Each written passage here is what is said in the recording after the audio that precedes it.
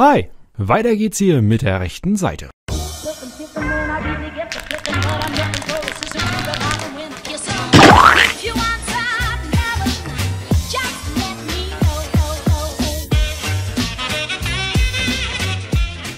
Schön, dass ihr wieder eingeschaltet hast zu einer neuen Folge hier bei den Simpsons.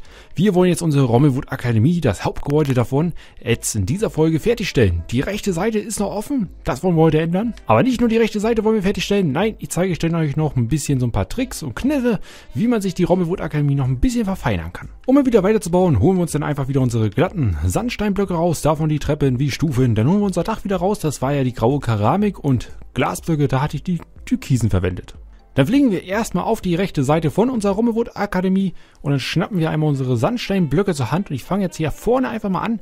Hier so schräg da vorne weg setze ich mir einfach einen Block ran. Den ziehen wir jetzt noch ein bisschen weiter weg nach vorne. Insgesamt setzen wir da jetzt 1, 2, 3, 4, 5, 6, 7, 8, 9, 10, 11, 12 Blöcke einfach mal so nach vorne schräg weg. Wenn wir das Ganze haben, geht es jetzt auch nochmal zur Seite weg. Da setzen wir jetzt noch 1, 2, 3, 4, 5, 6, 7, 8, 9, 10, 11, 12, 13, 14, 15, 16, 17 Blöcke ran. Insgesamt haben wir denn 18 Blöcke.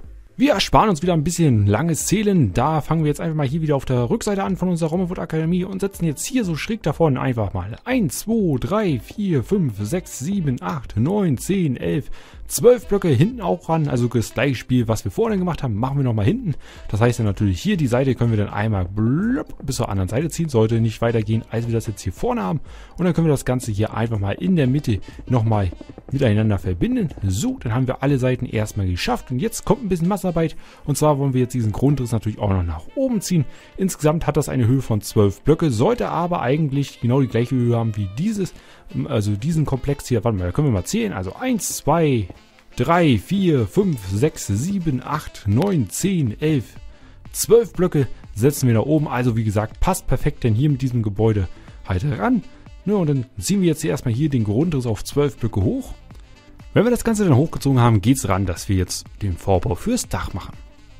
Ich war schon wieder so frech und habe eine Seite schon vorgefertigt. So, jetzt wollen wir aber nochmal gemeinsam hier eine Seite basteln. Ganz simpel, wie man sich das hochzieht. Wir lassen jetzt einfach mal an den Seiten eine Blockreihe frei. Dann ziehen wir uns eine Ebene hin. Danach lassen wir zwei Blöcke frei. Wieder eine Ebene hin. So, dann lassen wir wieder einen Block frei, Ebene hin. Jetzt lassen wir das, also machen wir schon wieder einen Block frei lassen hier an der Seite, Ebene hin. Jetzt lassen wir zwei Blöcke frei, Ebene hin. Den Seiten einen Block freilassen und oben haben wir dann ein Zweier. So, ich kann mich ja einmal immer kurz hier einmal hinstellen. Oder ansonsten ist es noch besser, sag ich mal, oder überschaubarer, wenn wir uns hier drauf denn einmal das Dach machen. Dann sieht man die Maße mal ein bisschen besser, wenn wir halt dieses dunkle Dach uns da noch ein bisschen raufbasteln. So, einmal drauf gebastelt, kann mich ja kurz nochmal hinstellen. Ja, so. Ne, da hat man hier nochmal so ein bisschen das Maß. Ja, aber wenn wir das Maß haben, wollen wir es natürlich dabei jetzt nicht belassen. Wir können jetzt hier einmal natürlich hier alles einmal ein bisschen überstehen lassen. Und wenn wir das überstehen gelassen haben, machen wir das dann natürlich nochmal synchron. Auf der anderen Seite, hier habe ich, war wie gesagt, war ich schon ein bisschen voreilig. Ich habe das Ganze mir schon mal gezeichnet. Ne, wie gesagt, ist halt synchron, halt beides hier auf den Seiten halt gleich zu bauen. So, jetzt wollen wir uns natürlich das ganze Dach ein bisschen zuziehen, aber wir wollen das auch noch denn hier mit dem Hauptteil verbinden. Darum haben wir es ja damals da nicht überstehen lassen. So, wir können jetzt einmal, sage ich mal, hier die linke Seite oder die rechte Seite, kommt immer darauf an, wo man steht, ne? Hier einmal zuziehen. Und sobald wir das denn zugezogen haben, geht es natürlich jetzt hier auf die andere Seite, wo sich denn, sage ich mal, der Komplex befindet, womit wir das Ganze halt verbinden wollen. Wir können natürlich beide Seiten schon mal so ein bisschen dahin ziehen. Blub, schon ist es hier mit der einen Seite ein bisschen verbunden. Ich war schon wieder ein bisschen vorlich, aber das geht hier super ineinander auf. Und zwar, ich habe mir jetzt hier die eine Seite nur so ein bisschen hingezogen. Ich fange hier unten einfach an. Ihr seht, man kann das ganz einfach hier alles miteinander verbinden. Das läuft alles super. Ich gucke hier bei der Zweier-Ebene haben wir dann auch eine Zweier-Ebene. Das geht alles prima auf. So, das können wir uns dann hier natürlich einmal alles hier jeweils zuziehen.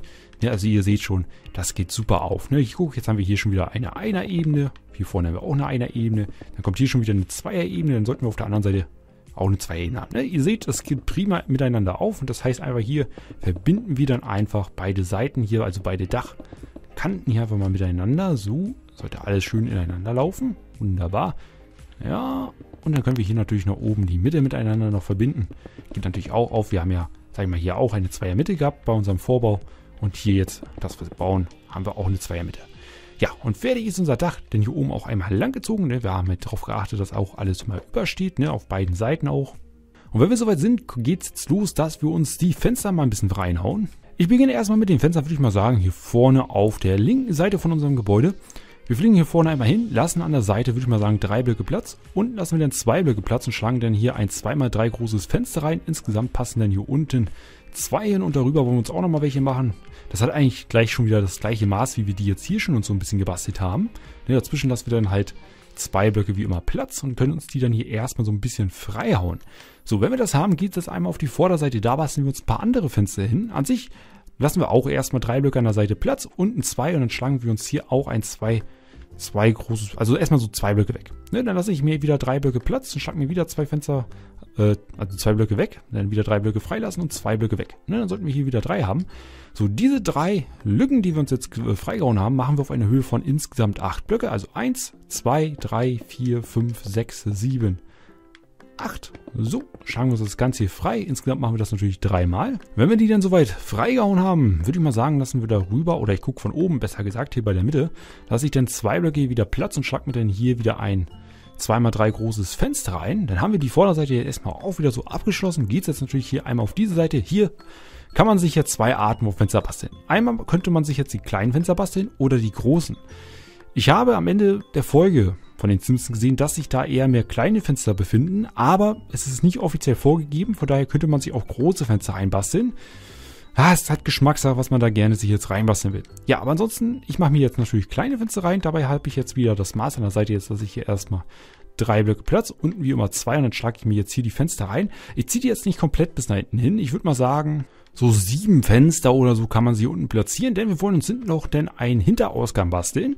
Ansonsten kannst du natürlich auch noch ein Fenster machen, aber ich möchte gerne schon einen Hinterausgang haben. Von daher kommen hier nur sieben Fenster hin und oben mache ich dann nochmal das gleiche Spiel. So, haben wir denn auch darüber nochmal sieben Fenster platziert, geht's denn jetzt einmal auf die Rückseite.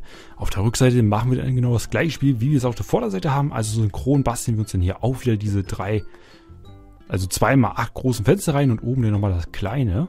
Wenn wir die uns dann hinten platziert haben, geht es dann natürlich hier einmal auf der Rückseite auch nochmal auf diese Seite, wäre jetzt von uns aus gesehen rechte Seite jetzt hier hinten. Ja, da wollen wir uns natürlich auch nochmal vier Fenster insgesamt reinschlagen. Wir lassen wir jetzt hier vorne an der Seite drei Blöcke Platz, ne, unten halt zwei und dann können wir hier wieder diese kleinen Fenster uns reinhauen einmal. So, wie gesagt, insgesamt vier Stück auf der Seite. Und wenn wir die frei haben, machen wir eigentlich die Fenster jetzt genauso, wie wir die jetzt schon in dem vorigen Teil gebaut haben. Bei den kleinen Fenstern platzieren wir jetzt einmal auf der unteren Ebene äh, ach nee, eigentlich nur auf der unteren Ebene halt machen wir das jetzt hier bei den kleinen Fenstern, platzieren wir uns einmal die Stufen und dahinter dann können wir dann natürlich gleich die Glasblöcke uns einmal ransetzen. Und bei den etwas größeren Fenstern, die wir haben, platzieren wir einmal auf der Unterseite natürlich unsere Stufen hin und darüber, also jetzt hier oben setzen wir keine Stufen, sondern einfach zwei umgedrehte Treppen. Wenn wir dann auf allen Seiten unsere Fenster bestückt haben mit dem Rahmen, wie natürlich die Glasblöcke, sollte unser Gebäudeteil nun so aussehen. Zu guter Letzt bei unserem Gebäudeteil möchte ich mir noch gerne einen Hinterausgang basteln. Ich glaube, ihr seht schon, wo ich hin möchte. Ja, wir schnappen uns dann einfach mal schon mal wieder unseren Schwarz-Eichenholz Baumstamm und lassen jetzt hier auf der Rückseite, würde ich mal sagen, hier von der Seite zwei Blöcke Platz und dann schlage ich mir ein Feld von 3x3 Blöcken hier einfach mal so ein bisschen frei. Die Tür ist so eine klassische äh, Minecraft-Tür. Wir setzen an den Seiten natürlich unsere Baumstämme hin. Die Tür setze ich mir einmal so nach innen gerichtet rein, darüber unsere Treppe und fertig ist das Ganze. So, man könnte natürlich auch gleich schon ein bisschen Vorarbeit leisten, denn ich sage mal, wenn man sich das Ganze auch einrichten möchte, ihr seht ja, ich richte mir das ja schon ein bisschen so ein, werde ich hier alles mit Tapete ein bisschen auch verkleiden, von daher könnte man sich auch gleich hier die Baumstämme innen drin nochmal setzen, vielleicht nochmal die umgedrehte Treppe halt zu der Seite. Also sieht die Tür halt natürlich von beiden Seiten schick aus. Und dann kann man hier anfangen, auch alles mit Tapete zuzuhauen. Der rechte Teil von unserer Rommelwood Akademie ging relativ fix. Jetzt gehen wir noch so ein bisschen an ein bisschen etwas Feinarbeit von unserer Rommelwood Akademie, was ich jetzt so ein bisschen von der Spiele-App und in den Folgen noch ein bisschen gesehen habe, was man nicht unbedingt erklären muss. Aber wenn man es sieht, dann kann man sich ja auch gerne basteln, wenn man möchte. Zum einen habe ich gesehen in der Spiele-App, auch in der Folge, warum das Gebäude noch einzelne Büsche ein bisschen platziert. Ich habe mich hier mehr auf die Spiele-App fixiert. Einfach hier so durch die kleinen, einfachen Büsche mit platziert. Immer mit so einem Abstand von fünf Blöcke. Finde ich, ist ein guter Abstand. So kann man sich das Ganze dann hier auch so ein bisschen rumzeichnen. Ansonsten ist bei unserem Haupteingang, würde ich mal sagen, in der Folge sah man noch so zwei Hecken auf beiden Seiten. Oder eine Hecke auf jeder Seite, die ich mir dann ja noch ein bisschen platziert habe. Einfach sieht als Deko-mäßig auch gut aus, wenn die Seiten nicht komplett kahl sind. Ansonsten kann man sich auch noch bei unseren vier Säulen, was ich jetzt hier noch ein bisschen gemacht habe, äh, unten wie oben noch eine geschnittene Sandsteinreihe mir einmal platzieren, damit das Ganze doch ein bisschen stabiler wirkt. Ja, ansonsten kann man sich noch einen Flaggenmast vor unserer Akademie sich basteln. In der Spiele-App wie in der Folge sah man das Ganze. Ja, eigentlich relativ auch simpel aufgebaut, so eigentlich, äh, ja, solch ein Flaggenmast. Auch die amerikanische Flagge ist sehr gut darzustellen mit einem Lapizza Zui-Block oder Steinziegeltreppen. Dann komme ich nochmal kurz zu unserem Glockenturm zu sprechen. Und zwar, wir hatten uns ja die zugemauerten Fenster uns reingebastelt. Ich hatte ja gesagt, die kann man sich auch hier so ein bisschen seitlich setzen. Im Nachhinein habe ich mir die ganzen Fenster jetzt doch wieder mittig platziert. Sieht einfach besser aus und passt auch ein bisschen halt zur Folge. Da waren die auch sehr mittig platziert. Da habe ich mich leicht verguckt. Ja, ansonsten nicht mehr so als ein oder zwei Fenster kann man sich denn hier auf den Seiten noch setzen. Ja, ansonsten hier habe ich mir hier natürlich auf der linken Seite auch noch ein paar Büsche ringsrum gezogen. Da kommt man natürlich hier auch auf die Rückseite hin und da kommen wir gleich noch zu so einer kleinen Baustelle, die wir ja noch machen wollten. Und zwar auf der Rückseite hatten wir, hups, da hat einer wieder die Tür offen gelassen. So, machen wir erstmal zu. Ja, jedenfalls, wir wollen uns hinten noch das Ganze ein bisschen bearbeiten. Und zwar, ich wusste nicht genau, was ich da machen wollte, denn in der Folge war auch so ein kleiner Unterstand, wo die Simpson-Familie mit dem Reiter so ein bisschen langgelaufen ist. Aber, weil ich nicht genau weiß, wo man sich solch einen Unterstand sich halt äh, lang möchte, verzichte ich erstmal drauf. Aber ich möchte mir gerne, sag ich mal, bei der Rückseite, wo sie rausgekommen ist, sah man nicht genau, was sich da oben befindet, so als dachmäßig. Und das möchte ich mit euch gerne noch ein bisschen basteln. Und zwar, wir schnappen uns einfach mal hier ein bisschen wieder unser Dach zur Hand. Man könnte natürlich ne, sich auch hier einfach die letzte Reihe so weghauen und das sieht da hinhauen. Sieht natürlich ein bisschen doof aus, von daher verzichte ich da einfach mal drauf. Denn ich möchte mir lieber, würde ich mal sagen, mir hier so ein bisschen ähm, das Dach ein bisschen anders kennzeichnen. Und zwar, wir schnappen, wie gesagt, unsere äh, graue Keramik einmal zur Hand und fliegen einfach an meiner Seite hier von unserem äh, Hintereingang mal hin. Ich lasse jetzt hier an der Seite, würde ich mal sagen, zwei Blöcke Platz. Ab den dritten können wir, wie gesagt, uns hier einmal die graue Keramik einmal platzieren. Dann gehen wir zur Seite und können hier gleich zwei Blöcke hinsetzen. Machen wir das mal immer synchron zu jeder Seite. Dann geht so ein Strick nach oben weg und dann oben die Mitte verbinden wir einfach mal miteinander. So, das Ganze können wir jetzt einmal natürlich hier zum Dach verbinden, also zum Dach ziehen. So kann man hier einmal machen. Ne, das ziehen wir uns hier einmal so nach hinten hin. Und wenn man das hier dann so verbunden hat, kann man dann einfach hier die Rückwand, sage ich mal, von unserer Akademie dann hier auch wieder so einfach mal zuziehen. Ne? Und ja, ansonsten das Dach, könnten wir das denn hier auch so ineinander laufen lassen. Sieht eigentlich auch nicht mal so schlecht aus. So, nach ein bisschen rumtüfteln kam ich jetzt zu diesem Endergebnis. Ja, ich habe mir das einfach hier so ein bisschen noch so ein kleines Vordach gemacht und ich denke, man könnte sich hier oben drauf dann auch nochmal so zwei weitere Blöcke platzieren, damit das so ein bisschen aussieht, ob das auch ineinander läuft. Ja, und dann ist das hier so ein kleiner Abschluss für die Rückseite. Ja, ansonsten gibt es zu unserer Robinwood Akademie jetzt hier zu diesem Hauptkomplex nichts mehr viel zu sagen. Man kann sich dann natürlich jetzt hier noch ja, würde ich mal sagen, einfach noch ein paar Büsche an der Seite platzieren. Aber weil ich jetzt hier schon auf der Vorderseite angefangen habe, mir das Ganze hier so lang zu ziehen, müsste ich dann auch hier weiterziehen. Ne, wie gesagt, ich würde einfach euch empfehlen, wenn ihr euch solche Büsche zeichnet, so ein Abstand von 5 Blöcke ist super. Ne, sagen wir jetzt auch hier bei der Ecke, da ziehe ich jetzt mal die Flächen mit. Das wären hier 2, dann plus 3, dann 5 und dann würde ich mir hier schon wieder solch einen Busch kennzeichnen. Ich würde mir das mal kurz ein bisschen rumziehen, damit man halt das Endprodukt ein bisschen sehen kann. Ich habe es mir noch einmal kurz rumgezeichnet. Wie gesagt, ne, macht also vielleicht so einen Abstand von 5 Blöcke. Könnt natürlich auch ein paar Blöcke mehr nehmen. Geschmackssache wie immer. Ne? Kommt natürlich darauf an, auf wo euch denn hier noch so eine Straße rumzeichnet. Ob ihr überhaupt noch Platz habt für eine kleine ja, Buschanlage ringsherum. Ja, jedenfalls auch hier dann so ein bisschen rumgezeichnet. Ich habe jetzt hier auf der einen Seite, auf der Rückseite, auf der, wenn wir jetzt von hier gucken, natürlich auf der linken Seite ein bisschen mehr oder mehr dichter hier die Büsche platziert, weil in der Folge war, sag ich mal, auf der Seite auch zu sehen, dass die Büsche sehr dicht platziert waren. Und auf der anderen Seite gab es leider kein Bild. Von daher habe ich ja einfach hier das Synchron einfach hier überall lang gebastelt. So ist denn auch unser Hauptgebäude von der Rommelwood Akademie jetzt auch fertig auf unserem Gelände. Jetzt kommen ja nur noch die paar Nebensachen noch hier so ein bisschen, damit wir das Gelände auch ein bisschen noch zustellen können. Ja, ansonsten, ich setze mir jetzt schon nebenbei immer ran, mir das Ganze einzurichten. Hast du vielleicht schon gesehen, dass ich dabei bin.